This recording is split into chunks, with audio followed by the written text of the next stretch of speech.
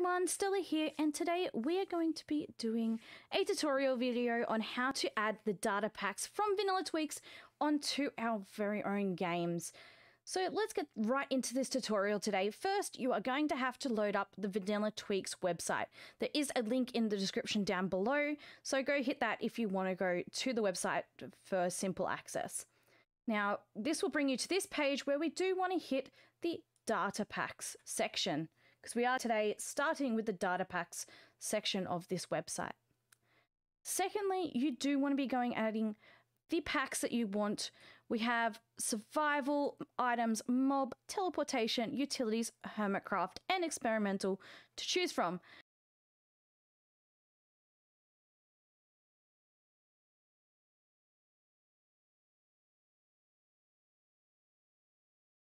Now, to choose from which version you are currently playing, so say for example, I am currently in 1.18 gameplay, you'll be clicking this button up here, or maybe if you're in 1.17 still, you'll just be clicking the 1.17. Okay, so we're back on the 1.18 website. So this is my current updated version. Now I'm going to go ahead and quickly click the packs that I want into my game, and I'll be right back.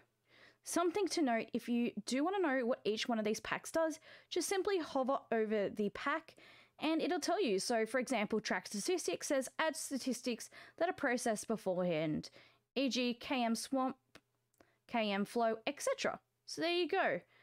All we're going to have to do is then come to this section and we want to download.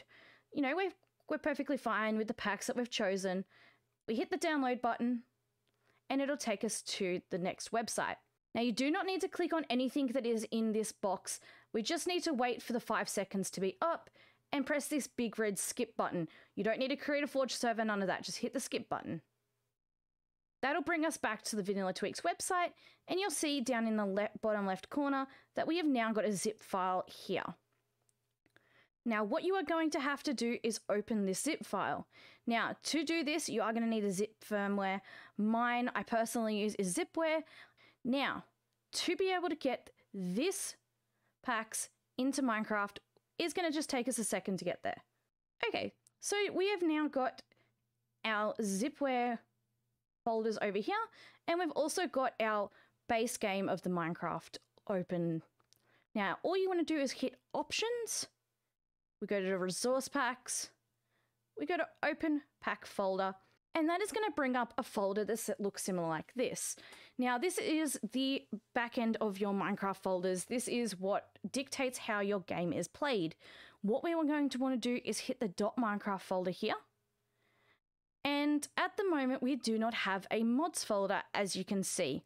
All we need to do is right click on our mouse, hit go down to new and add a new folder.